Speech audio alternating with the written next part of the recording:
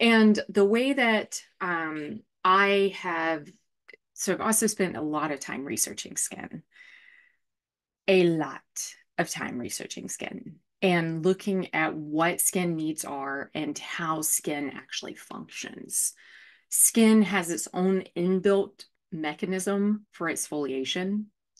Skin has a lot of like does a lot of things on its own that we have been conditioned to believe is provided to us in a bottle and it's simply not true.